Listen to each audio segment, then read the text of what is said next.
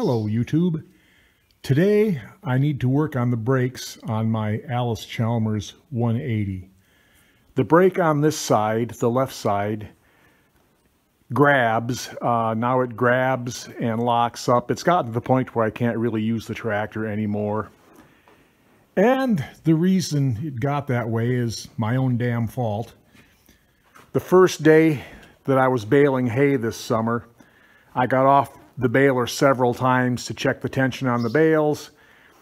And one of the times when I got off the tractor and got back on, somehow I left the brakes locked on. The brakes on this thing, they're not locked now, but there's a lever here. And to unlock the brakes, you just push down on that pad to push the lever forward and kick the brake pedals and it will unlock. And either I didn't kick the pedal hard enough or I forgot to kick the pedal. Uh, anyway, I screwed up and drove a while with the brakes locked. And this one must have been uh, adjusted a little bit tighter on the other side because this the other side came out of it all right. But this side is screwed up now. I screwed it up, so now I'm going to have to fix it. So to get to the brakes on these things, I need to take the tire and wheel off and then pull the final drive. So that's first uh, the first order of business. I need to get the uh, get the wheel off, and this is loaded. It does have fluid in it, so hopefully I can uh, manhandle it and lead it up against this post here. If not, I'll uh, I will use my shop crane. This is uh, what I intend to use to get the final drive off. I'm here in the back end of my barn. This is uh, this is where my combine usually lives, but I needed a place with a good uh, a good hard surface where I could use the shop hoist, so I took the combine out and brought the tractor in here. Uh, so yeah, the back part of my barn here, it's uh, it's a house for the combine, otherwise just kind of general storage. And uh, the other end of the barn through that walk-in door is my little shop where I usually work during the wintertime and do my projects.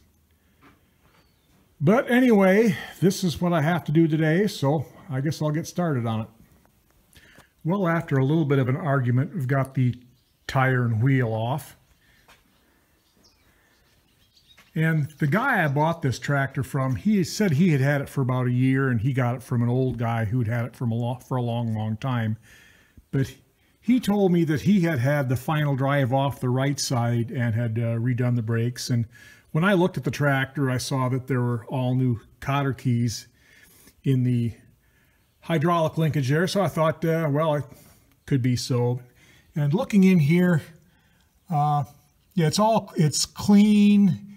The, uh, the pin there has been moved. It looks like it has a new lining in it. So I think he was probably, uh, probably straight with me there. But on this left side, uh, there's, it's kind of dirty. There's no grease, so it doesn't look like the seal is bad, but I will move this back and forth and you can hear that the expander is doing some rattling that it had not ought to be doing.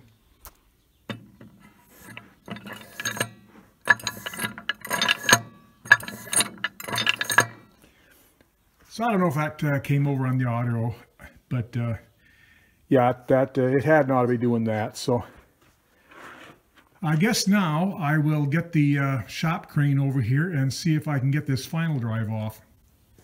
All right, I'm under the tractor unhooking the brake control rod here. There's a uh, the spring, which I just unhooked, goes onto this tab. And uh, there's a clevis here that I need to pull the pin out of. And I did see something interesting underneath uh, the tractor here that I did not notice before. Uh, again, just to review, this is the uh, control rod that activates the brakes. Has this clevis here, goes onto the shaft that goes to the other side. And on the other side, uh, we got the brake control rod here, but uh, there is no clevis. Someone has, in fact, welded a bolt onto the end of the rod and put it through here and uh, has the uh, the spring attached this couple links of chain uh, on the other side of the bolt and this the the spring is actually supposed to hooked on, be hooked on here. So ah, I don't know when that happened. That's more than just a little sketchy. Uh, yeah, that's something I'm going to be addressing uh, before this project is all over and done.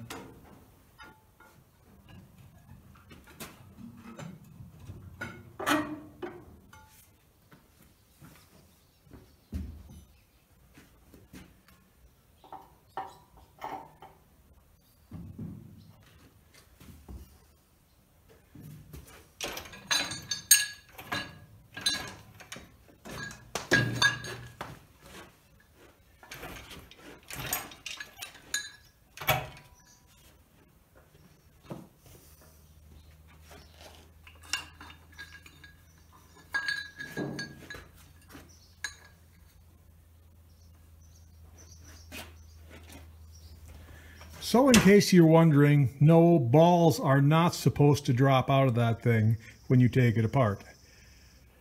Some of you uh, who are not familiar with these tractors might be wondering, does it have disc brakes or does it have drum brakes? And the answer is yes.